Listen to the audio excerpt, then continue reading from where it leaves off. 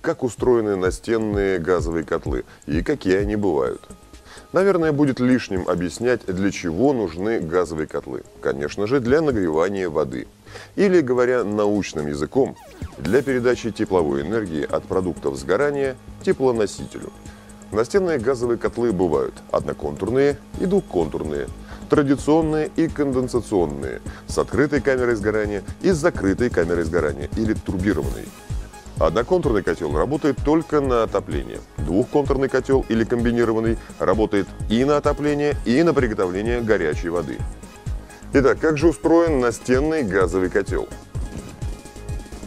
Котел состоит из горелки с газовой арматурой, первичного теплообменника, циркуляционного насоса, расширительного бака, автоматики управления и устройств безопасности – а также контура приготовления горячей воды, если котел двухконтурный. В общем, котел укомплектован всем, что необходимо для работы системы отопления. Он, по сути, представляет собой котельную в миниатюре. Наибольшей популярностью пользуется котел двухконтурный.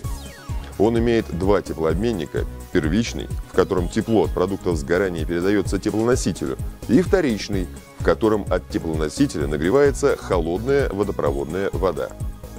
Реже встречаются комбинированные котлы с одним теплообменником, в котором нагревается и теплоноситель, и вода для системы горячего водоснабжения. Современные навесные котлы имеют модуляцию мощности, то есть они могут изменять количество генерируемого тепла в зависимости от текущих потребностей системы отопления.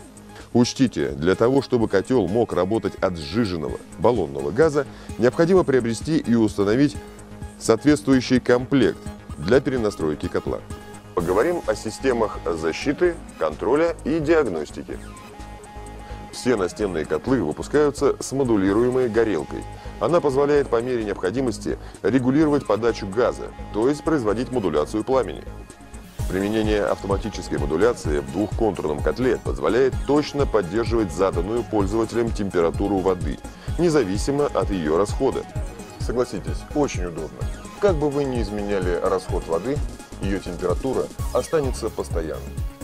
Учтите, что режим модуляции требует практически постоянной работы горелок.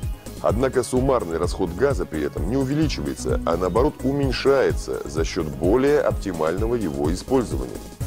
Современный котел оснащен встроенными датчиками температуры.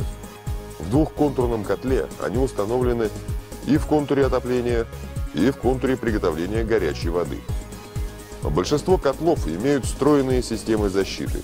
При отключении электропитания такой котел отключается, а после возобновления электроснабжения автоматически включается и продолжает работу. А вот при прекращении подачи газа автоматика перекроет электромагнитный клапан, который контролирует подачу газа в котел, и перезапускать его придется вручную. Защита от замерзания пригодится для нежилых помещений или дач, отапливать которые в зимнее время нет необходимости. Суть действия данной системы защиты заключается в том, что котел работает в энергосберегающем режиме. При помощи датчиков он контролирует температуру теплоносителя. Если она снижается до 5-6 градусов Цельсия, котел включается, прогревает систему отопления и снова выключается. И, наконец, есть защита от блокировки циркуляционного насоса. Она полезна летом, когда система отопления не работает. Раз в сутки, минуты на две, насос включается. Таким образом, ротор насоса избавляется от длительного простоя, и вероятность выхода его из строя значительно снижается. Некоторые котлы имеют встроенную систему самодиагностики. Она анализирует состояние элементов котла и в случае неисправности выдает на табло код ошибки. Таким образом, диагностируется 90% всех возможных неисправностей. Пользователю остается только сообщить код ошибки представителю сервисной службы. И тот будет знать, какой объем работы ему предстоит.